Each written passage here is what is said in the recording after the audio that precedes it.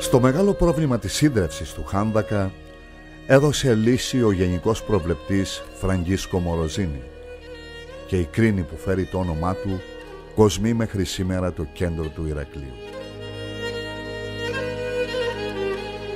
Στα χρόνια της Ενετοκρατίας το Ηράκλειο ήταν έδρα της Αρχιεπισκοπής της Εκκλησίας της Κρήτης από την δεύτερη Βυζαντινή περίοδο και το Ορθόδοξο δόγμα συνένωνε τους κριτικούς προκειμένου να αντισταθούν στον προσελητισμό τους από τους καθολικούς. Στις 4 Νοεμβρίου του 1666 ο Οθωμανικός στόλος έφτασε στην Κρήτη και ο Φαζίλ Αχμέτιο Προλού αφού οργάνωσε το στρατό του άρχισε την τελική φάση της πολιορκίας την άνοιξη του 1667. Μεσολάβησε η περίοδος της Αιγυπτιακής κατοχής της Κρήτης από το 1830 έως το 1840 και ακολούθησε η Μεγάλη Επανάσταση του 1866.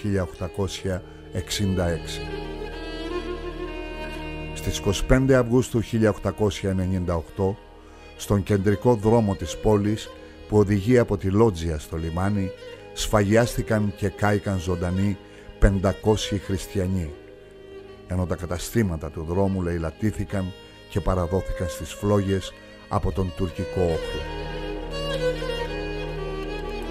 Και καθώς η πόλη ακολουθεί την πορεία της στο χρόνο, εκείνος διαμηνύει. Δεν ελπίζω τίποτα, δεν φοβάμαι τίποτα, είμαι ελεύθερος.